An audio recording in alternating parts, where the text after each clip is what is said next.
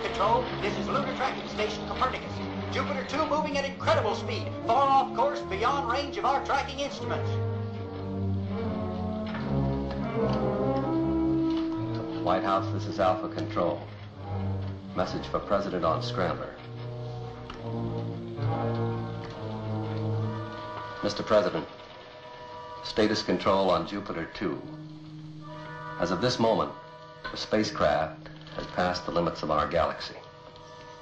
It's presumed to be hopelessly lost in space.